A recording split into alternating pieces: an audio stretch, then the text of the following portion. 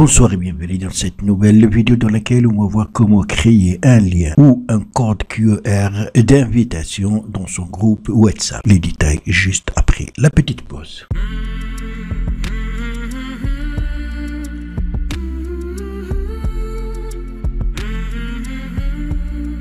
WhatsApp a révolutionné la communication de tous les jours grâce à son côté pratique et sa gratuité. Avec l'arrivée des groupes, le sphère des utilisateurs s'est élargi. Des clubs de cinéma aux clubs de fitness, etc. Vous êtes maintenant nombreux à l'utiliser pour des groupes de travail et même parfois pour faire de nouvelles rencontres. Très souvent dans le cadre de groupes publics, il vous incombe de pouvoir recruter facilement et ainsi pouvoir élargir le pour les familles nombreuses, si votre groupe est privé, c'est laborieux d'ajouter chaque membre de la tribu, ce qui est fatigant. Eh bien, c'est assez simple en faire au lien dédié pour inviter dans son groupe WhatsApp. Voilà comment faire. Lancez l'application WhatsApp. Ensuite, allez dans le groupe en question. Appuyez sur les trois points tout en haut à droite.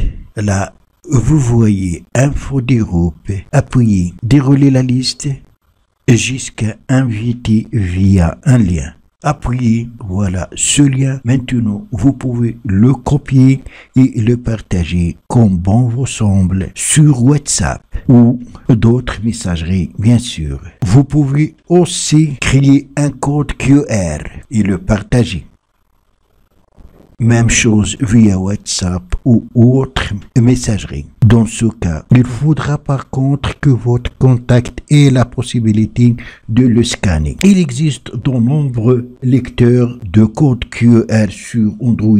Le cas de lecteur code QR, il suffit de le scanner avec par exemple cette application. Bien sûr, euh, par votre contact. Ainsi, il sera ajouté comme participant au groupe. Voilà donc c'est tout pour cette vidéo. Merci de l'avoir suivi. Surtout, n'oubliez pas de la partager avec vos amis sur les réseaux sociaux. Et pour ne rater aucune de mes prochaines vidéos, veuillez vous abonner à la chaîne et aussi activer la cloche pour recevoir les notifications des nouvelles vidéos. À la prochaine fois.